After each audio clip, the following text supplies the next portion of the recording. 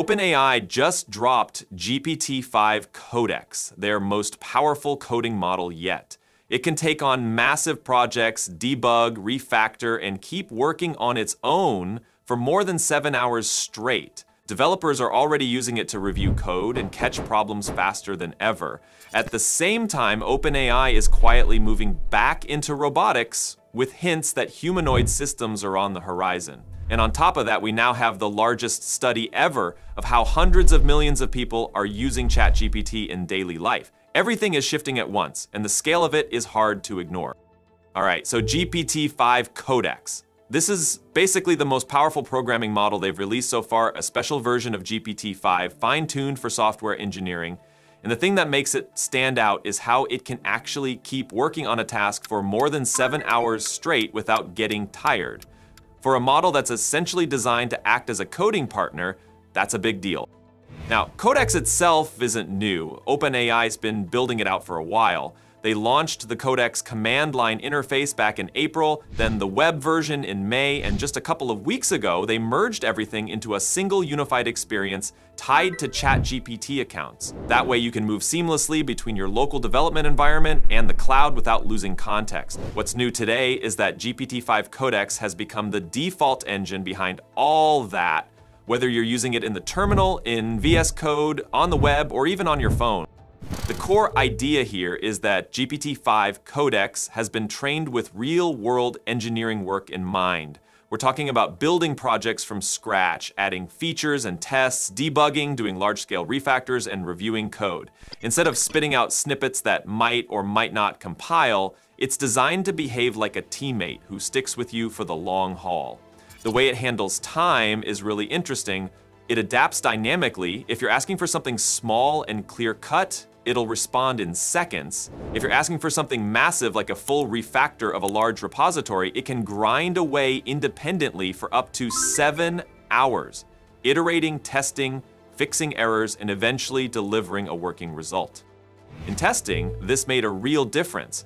On the SWE Bench Verified benchmark, which is a set of 500 software engineering tasks, GPT-5 Codex scored 74.5% accuracy, GPT-5 by itself was at 72.8. That may sound like a small bump, but in this context, every percentage point is huge because the tasks are real bugs and fixes pulled from open source projects. And when it comes to refactoring tests, the jump is even more dramatic. GPT-5 managed 33.9% accuracy there, while GPT-5 Codex hit 51.3.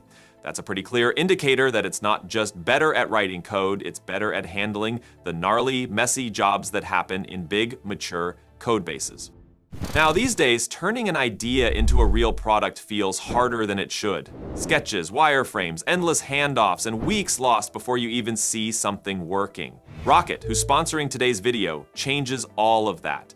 It's an AI builder that lets you go from a simple prompt or Figma design straight to a fully functional app or website in minutes. You can ask in plain language, make me a modern landing page for a newsletter, or build a dashboard with login and filters. And Rocket generates a polished, production-ready build instantly.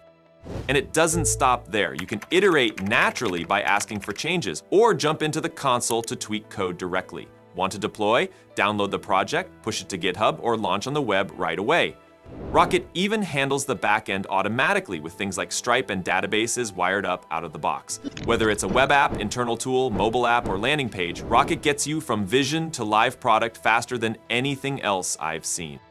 Try it free today, the link's in the description. OpenAI actually shared some numbers from internal usage. In the bottom 10% of cases, where tasks were super simple, GPT-5 Codex used 93.7% fewer tokens than GPT-5. It's more efficient, quicker, less wordy.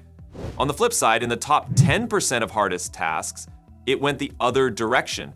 It thought more, spent twice as long reasoning, editing, testing. Basically, it knows when to sprint and when to settle in for a marathon. That dynamic thinking time is what Sam Altman and the team seem most excited about. Speaking of Altman, within just two hours of launch, he posted that GPT-5 Codex was already handling 40% of all Codex traffic. And by the end of the day, it was on track to take over half. That's adoption at a ridiculous speed. And the comments from developers were mixed, but telling. A lot of people are impressed by how well it handles complex projects. Others are a bit worried about subscription budgets because remember, Codex Access comes bundled into ChatGPT Plus Pro, Business, Edu, and Enterprise plans. The Plus, Business, and Edu tiers give you a few coding sessions per week, while Pro lets you spread the work across multiple projects, basically covering a full work week. Enterprise plans give you pooled credits for teams, and Business can buy more credits if needed. And soon, for people using the Codex CLI with API keys, GPT-5 Codex will also be accessible directly via API. When it comes to code reviews, GPT-5 Codex really shows what it can do. In tests on open source repositories, GPT-5 made about 13.7% incorrect comments, while GPT-5 Codex cut that down to just 4.4%. At the same time, the share of high impact comments jumped from 39.4% with GPT-5 to 52.4%. It also made fewer comments overall, about 0.93 per pull request compared to 1.32, so you get less noise and more useful feedback. Inside OpenAI, it's already reviewing the majority of pull requests and catching hundreds of problems every day before human reviewers even step in. Part of this is tied to the upgrades OpenAI rolled out to the Codex ecosystem. The CLI has been rebuilt around agentic workflows. You can now share screenshots, wireframes, charts, basically build up shared context without dumping a ton of text prompts. Codex will track progress with a to-do list. It has tool integrations like web search and MCP for external systems and the terminal UI has been cleaned up with clearer tool calls and diffs. Approval modes are simplified into three, read-only with explicit approval, auto with workspace access but external approval, and full access where it can read files anywhere and run network commands. Plus, it can compact conversation state, making long coding sessions less of a memory burden. The IDE extension is another big part. It connects Codex into VS Code, Cursor, and forks of those, letting it preview changes and co-edit code.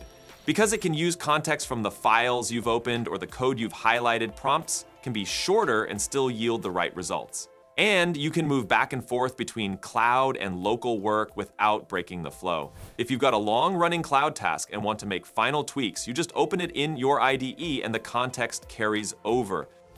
The cloud setup itself has gotten faster too. They've cut the average task completion time by 90% thanks to container caching. Codex can now auto set up its own environment by scanning for common install scripts, and with configurable internet access, it can grab dependencies on the fly with commands like pip install. And on the front end side, you can actually upload design specs or bug screenshots Codex will spin up its own browser, look at the UI, iterate, and then attach a screenshot of the result to the task or the uh, GitHub pull request. One thing OpenAI is stressing is safety. Codex runs in a sandboxed environment by default, with network access disabled unless explicitly allowed. That helps prevent harmful actions and reduces the risk of prompt injections. Developers can adjust the settings based on their tolerance, granting full access if they need web search or MCP connections, but keeping it locked down otherwise. And every task comes with citations, terminal logs, and test results so you can audit what it did before merging anything. They're clear that Codex should be treated as an additional reviewer, not a replacement for human eyes. Now, while everyone's busy watching Codex, OpenAI has also been quietly making moves in robotics again. Remember, they shut down their robotics research in 2020, basically saying the lack of training data was the problem.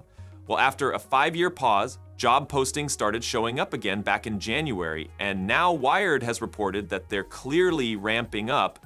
The focus is on teleoperation, simulation, sensing, and prototyping, and they're hiring people like Chengshu Li from Stanford who worked on humanoid household robots. That suggests pretty strongly they're targeting humanoid systems general purpose robots that could help push toward AGI. It's not confirmed outright, but all the signals point in that direction. There's also the question of how people actually use ChatGPT. OpenAI's econ team with Harvard's David Deming analyzed about 1.5 million conversations, the biggest look at consumer use so far, and with roughly 700 million weekly users, it gives a real-world snapshot. The headline, Adoption has broadened fast. In January 2024, about 37% of users had typically feminine names. By July 2025, that was 52%, basically mirroring the adult population. Growth is especially strong in lower income countries, rising more than four times faster than in richer ones. Most chats are everyday stuff, getting guidance, information, and writing. Roughly half of messages are asking, using it as an advisor. 40% are doing, drafting, planning, coding, and 11% are expressing and play. About 30% is work related and 70% personal, both climbing. The real value shows up in decision support. Better choices, higher productivity, and usage deepens as models improve and people find new use cases. That's where things stand right now. Drop your thoughts in the comments. Don't forget to hit like and subscribe. Thanks for watching, and I'll catch you in the next one.